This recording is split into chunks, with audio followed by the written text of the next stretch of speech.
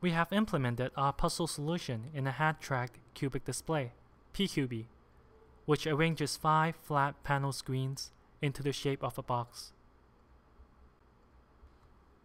By coupling pCubee with a 3D stylus, our solution supports a unique bimanual interaction model, allowing users to operate the display and the stylus together to manipulate the puzzle pieces.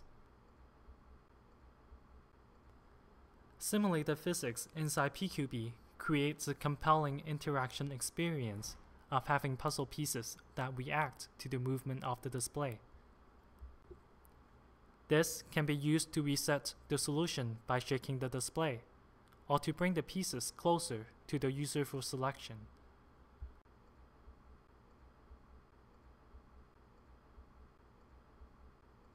The user can pick up a puzzle piece by tapping the stylus button while intersecting with the piece, and tapping the button again to place it in the solution.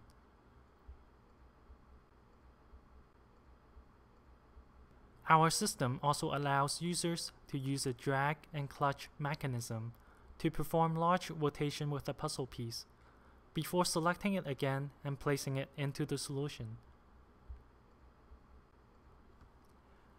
While performing the drag and clutch rotation, the puzzle piece is fixed in space relative to pCubee.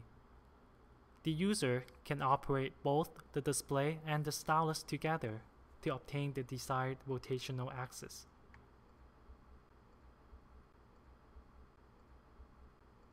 It is also easy to select pieces out of the solution to make corrections as needed.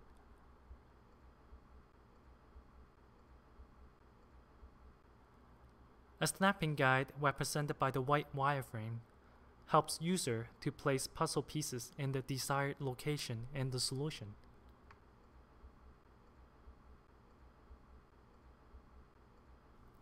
Once the puzzle is completed, the system shows the completion time to the user.